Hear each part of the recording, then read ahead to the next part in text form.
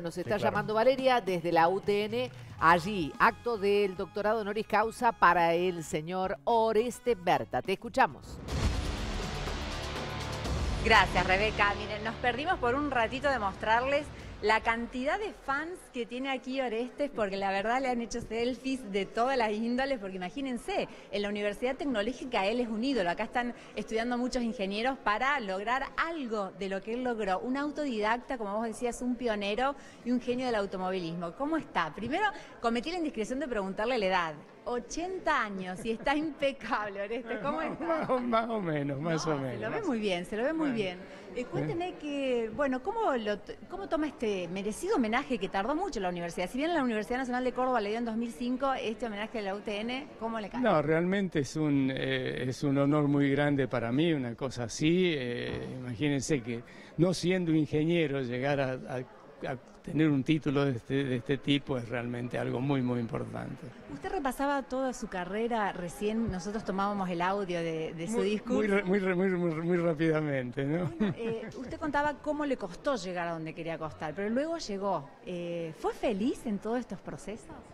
Sí, realmente siempre hice lo que me gustó. Eh, yo creo que en la vida si uno elige lo que realmente quiere hacer y hace eso es, más fácil, es más fácil. Uno logra, eh, logra superar barreras bastante difíciles que se presentan.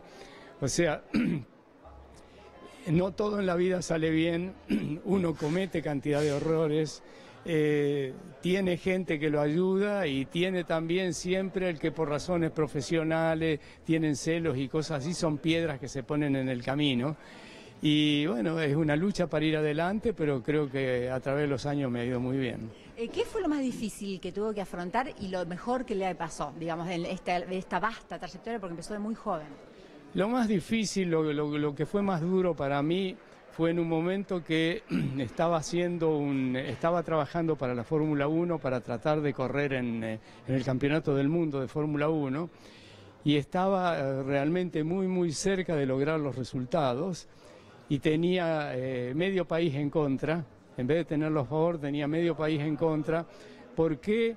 Porque había tenido unos tropiezos mientras venía haciendo las cosas y entonces en vez de mirar hasta dónde habíamos avanzado, solo miraba, ah, sí, pero esto le salió mal y lo otro le salió mal. Es como le hacemos a la selección argentina a veces. Es como, como pasa acá. Yo digo que es bastante, eh, que es algo común entre los argentinos eh, muchas veces eh, no mostrar lo bueno que hace uno y, mostrar los, errores que uno comete. Y, errores cometemos todos, solamente no comete errores el que no hace nada. Seguro. Eh, ¿Y qué fue, cuál considera que fue su mayor logro? No sé, todo lo que he hecho para mí, no importa si el proyecto era chico o grande, es llegué al final y funcionó. Eh, y ese fue un logro. Y cuando terminé un proyecto pasé al siguiente.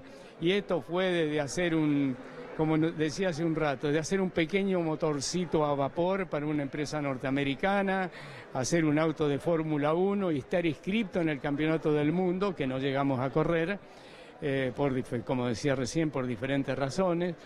Eh, fabriqué desde autos de carrera, camiones, a motos, digamos un poco de todo y cada, cada proyecto fue para mí, eh, al terminarlo, digamos, una gran satisfacción.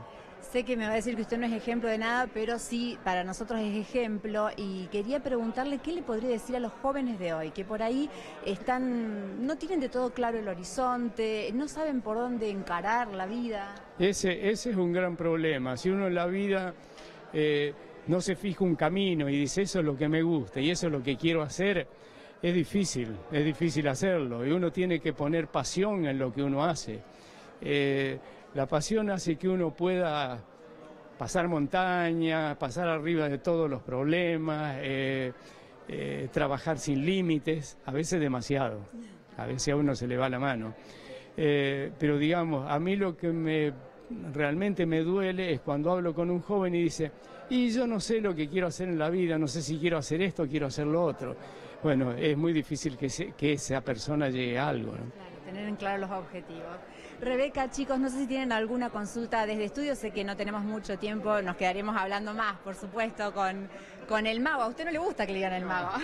Decirle cuánto lo admiramos, simplemente, que estamos acá pegados al tele, escuchándolos. Me alegra mucho verlo en buen estado de salud, él es que, que es su propio médico, así que eh, toda la alegría de verlo disfrutando de lo que ha sido su carrera y su hombría de bien. Muchas gracias, Oreste. Cómo no, cómo no. Le mando un gran saludo a Rebeca y la admiración de todo el equipo de entre nosotros, Rebecas de Canal 10 y Radio Universidad. Un gran saludo a Rebeca y espero que algún momento nos veamos. Ya ha pasado mucho tiempo desde la última vez. Eso, eso. Pronto vamos a ir con todo el Vuelven equipo. ustedes, chicos. Ah, sería divino.